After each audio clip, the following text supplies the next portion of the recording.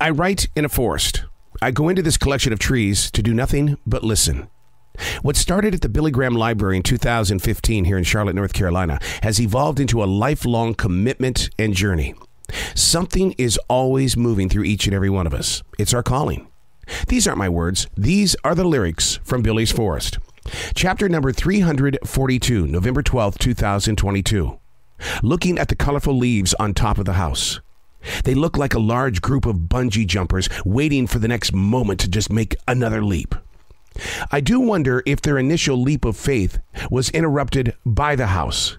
We've all been there before. We plan for the big jump. Anxiety levels are super high. We hope for the absolute best, make the big jump, and what do we do? We fall onto the roof of a house. Now we have to wait for the next great opportunity. Moving beyond the moments of chance taking requires what in our lives to create that next moment, followed by what can I do better next time? Let's look at the situation. First, the leaf leaving the tree wasn't its decision. Come on, it's fall time. Like a big business, we see it all the time. Employees, it doesn't matter how great you are, how green you were on that tree, when it's time to cut off, they do. No questions asked.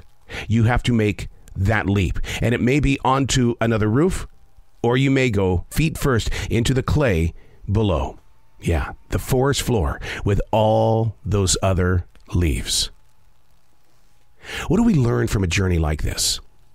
We've all heard of that leap of faith. I did so in 2016 when I said I was done with terrestrial radio. I'm going to go do this thing called streaming, and I'm going to learn everything about streaming. I'm taking a leap of faith.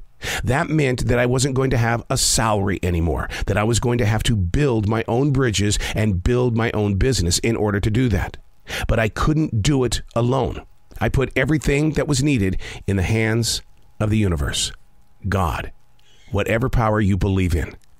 When things change instantly in your life, and they're doing it again because businesses here in 2023 are cutting back, cutting back, cutting back, cutting back, and you're left out there in a world with fewer jobs available. Put it in the hands of the higher power.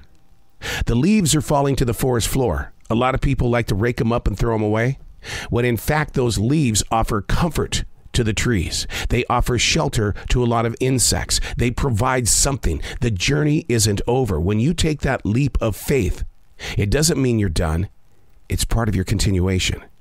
Now it requires your energy to make it work, but don't do it alone. I'm Arroe. These aren't my words. These are the lyrics from Billy's Forest.